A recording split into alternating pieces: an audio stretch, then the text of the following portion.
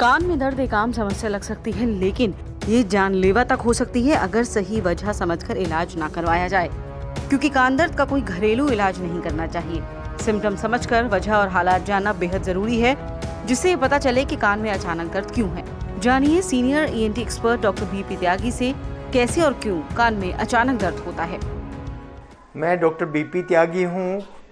हमारे कान में जो दर्द होता है, उसका कारण होता है कि पर्दे पे सूजन आना या पर्दे के बाहर कोई फुंसी निकलना या सूजन आना या जो ये जोड़ होता है हमारा, इस जोड़ पे सूजन आना जो कि जबड़े का जोड़ होता है और उससे अलग जिसको हम रेफर्ड ओटेल्जिया बोलते हैं, वो हमारे दांत में अगर दर्द होगा तो वो कान तक आ सकता है, हमारे मुँह में छाले होंगे तो वो उसका दर्द कान तक आ सकता है हमारे मुँह में कोई इस तरह का कोई कैंसर या कुछ होगा तो उसका दर्द कान में आ सकता है।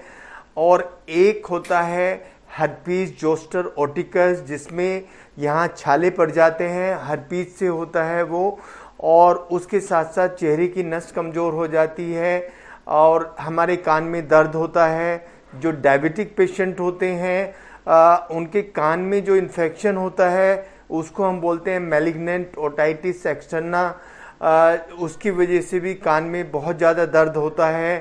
तो ये जितने भी मैंने बताए हैं ये सब कॉमन कॉजेज हैं। उससे अलग हमारे कान में अधिक मात्रा में वैक्स बनना हमारे कान में फंगस का इन्फेक्शन होना आ, ये इसमें एडिशनल फैक्टर्स हैं जो हमारे कान में दर्द पैदा कर सकते हैं। अगर कुछ देर में या एक आध दिन में कान में दर्द ठीक नहीं हो रहा तो चिकित्सक की सलाह ज़रूर लें, वरना समस्या बढ़ सकती है। स्वस्थ रहें, मस्त रहें। कान दर्द को लेकर अगर कोई सवाल है तो कमेंट बॉक्स में लिखिए।